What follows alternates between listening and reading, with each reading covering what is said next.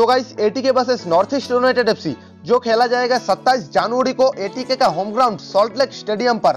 तो आईएसएल का इतिहास में इन दोनों टीमों का रिकॉर्ड्स क्या है और क्या है इन दोनों टीमों का हेड टू हेड रिकॉर्ड्स तो कई सारे बातें हम इस वीडियो में डिस्कस करने वाले हैं और मैं आप लोगों से रिकमेंड करूँगा कि आप लोग इस वीडियो को लास्ट तक ज़रूर देखें। तो चलिए दोस्तों, आज का वीडियो शुरू करते हैं। तो guys two time champions ATK और हाईलैंडर्स जब भी एक दूसरे के साथ आमने सामने भिड़ता है तो 70 परसेंट मैचों में हमें एक तरफा मुकाबला देखने को मिलता है।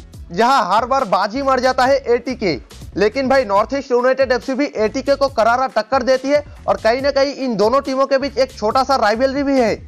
और सीज़न सिक्स में ये दोनों टीमें जब आखिरी बार गुवाहाटी में आमने सामने भिड़े थे, तब तीन शून्य का एक बड़ा मार्जिन से एटीके ने जीत हासिल किया था। जहाँ एटीके ने सीज़न सिक्स में नॉर्थ ईस्ट यूनाइटेड एफसी का अनबीटेन रिकॉर्ड्स को तोड़ा था। तो गाइस आईएसएल का इतिहास में इन दोनों टीमों का all head to head records क्या है, चलिए फुल डिटेल्स के साथ देख लेते हैं।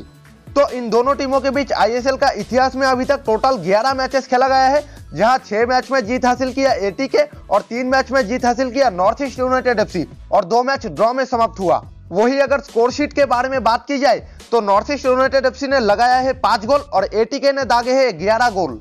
और अगर इन 11 मैचों में से दोनों टीमों का विनिंग परसेंटेज देखा जाए तो नॉर्थ ईस्ट यूनाइटेड एफसी का विनिंग परसेंटेज है 27 परसेंट और एटीके का विनिंग परसेंटेज है 54 परसेंट और आप देखते हैं कि 27 जनवरी 2020 में कौन जीतते हैं एटीके या फिर नॉर्थ ईस्ट यूनाइटेड एफसी तो गाइस अपने फेवरेट टीम का प्रोडिक्शन आप खुद तय कीजिए और कमेंट सेक्शन पर बताइए कि इस मैच में कौन जीतने वाले हैं।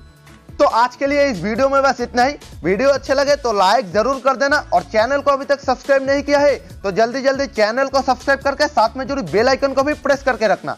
इसके अलावा आप लोग मुझे इंस्टाग्राम पर भी फॉलो कर सकते हो। इंस्टाग्राम स्टोरी पर भी मैं छोटा छोटा अपडेट पोस्ट करता हूँ तो इंस्टाग्राम पर भी मुझे फॉलो ज़रूर कर लेना। मेरा इंस्टाग्राम आईडी का लिंक आपको डिस्क्रिप्शन बॉक्स पर मिल जाएगा।